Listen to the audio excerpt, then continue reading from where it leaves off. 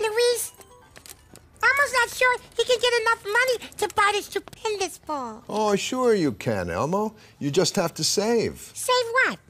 your money. Well, how does Elmo do that, Luis? Well, you could save all your money in a piggy bank. Oh, yeah, a piggy bank. That's a great idea, Luis. Elmo will, will, will save his money in a piggy bank. All right. Uh-oh. What's the matter? Elmo just remembered. Elmo doesn't have a piggy bank. Oh, no problem. You can use this jar. What do you mean, Luis? What are you doing? Well, see, I'll just um, I'll just put a slot on the top. Uh-huh. Let's see. Uh, yeah, like that. Uh-huh.